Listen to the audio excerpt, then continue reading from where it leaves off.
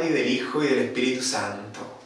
El Dios que con lazos de amor nos atrae hacia sí, esté siempre con ustedes.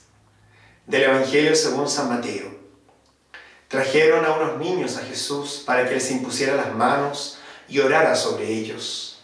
Los discípulos los reprendieron, pero Jesús les dijo, dejen a los niños y no les impidan que vengan a mí porque el reino de los cielos pertenece a los que son como ellos.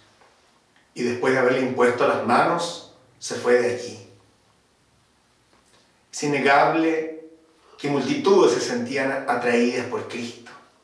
Pero en esa multitud, probablemente quienes más experimentaban ese verdadero imán de Dios que era Jesús en su tiempo, eran las personas más descartadas de la sociedad. ¿Cuántas mujeres se sentían atraídas por Jesús. Cuántos pobres, cuántas personas que estaban enfermas de diversas dolencias. Y hoy se pone de relieve cuántos niños se sentían atraídos a ir al encuentro de Jesús para que orara por ellos, para que les impusiera las manos. Los discípulos, qué triste reconocerlo, frenan esos encuentros no pocas veces reprenden a los niños, alejan a las personas que consideran que pueden perturbar la misión de Cristo. Y Jesús insiste, y hoy día a nosotros nos insiste, dejen que los niños y tantos otros que quieren acercarse a mí puedan cumplir su propósito.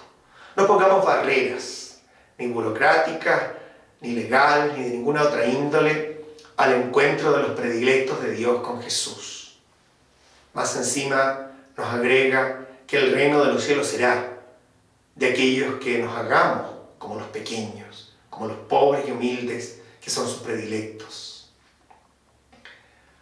Ayudemos a que esos pequeños de ayer, de hoy, de siempre, puedan acercarse a Jesús. Es el gran desafío que nos proponemos en este tiempo. Es el gran desafío que en este día sábado este Jesús que nos mira con tanta ternura nos invita a practicar. A Él sea el honor y la gloria por los siglos de los siglos.